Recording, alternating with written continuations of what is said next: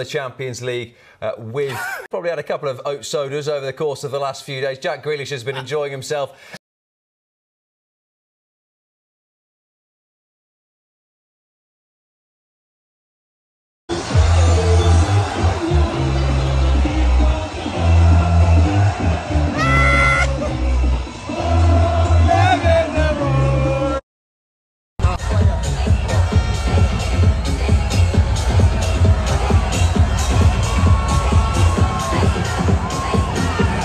you got me, Carl.